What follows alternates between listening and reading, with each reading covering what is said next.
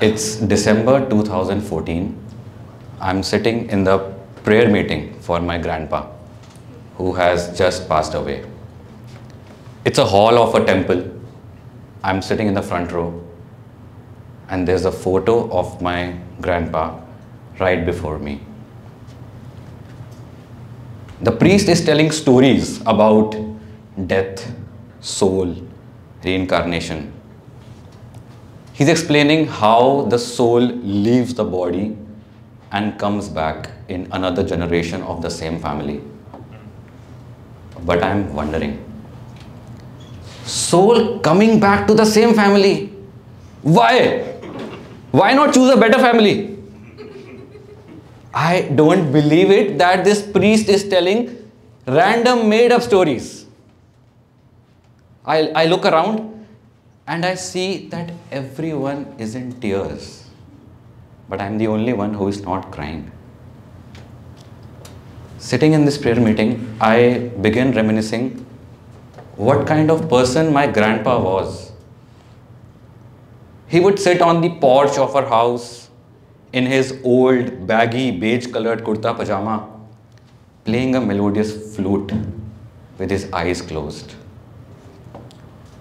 Often my grandma would scold him for random reasons while he was busy playing the flute. What kind of clothes are you wearing, old man? Why don't you buy new clothes? Grandma would yell. But grandpa could not be bothered at all.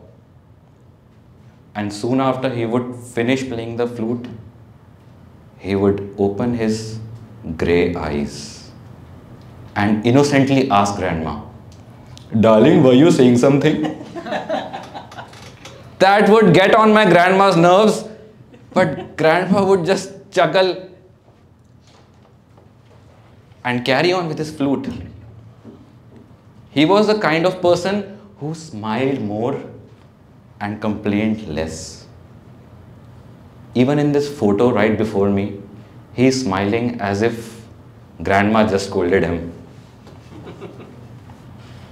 While I'm in this prayer meeting, the fragrance of incense is all around me. And I remember that day when my dad was not home and the kitchen pipes got severely clogged. My mom got worried, she was not able to manage it.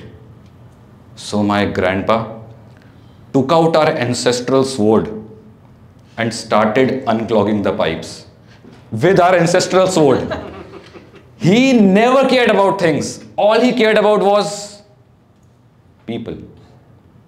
He loved people, not things.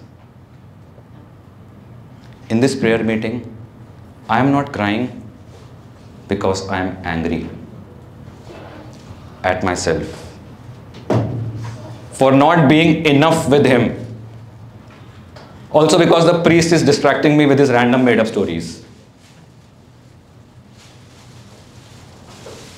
I bottle up my grief inside and I stay in denial without shedding a single tear for my grandpa. Eight years pass by. After eight years, I'm having this dream.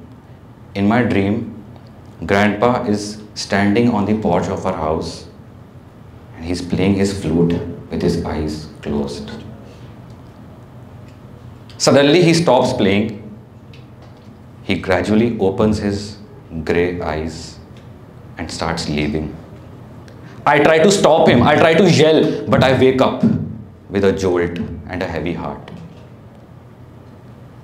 My pillow is already wet with tears. Eight years of bottled up grief is gushing out. I just can't stop sobbing.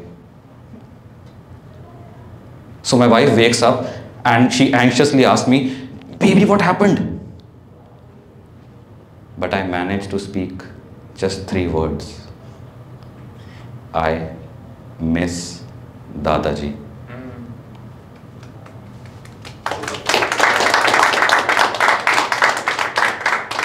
But my wife, takes my face in her hands smiles and says, Baby, what are you talking about? Your grandpa is right here. She says that, pointing towards our six month old daughter who smiles more and complains less. She says that, pointing towards our six month old daughter who doesn't play with toys but loves being around people. She even has an uncanny affinity towards the sound of a flute. And she has grey eyes. I instantly wipe off my tears because I find comfort in the story of my grandpa reincarnating as my daughter. I simply want to believe in the story of souls that reincarnate in the same family. I pick my daughter up. I hug her as I would hug grandpa, only to realize that we don't believe in stories because they are true. We believe in stories because they comfort us. Thank you.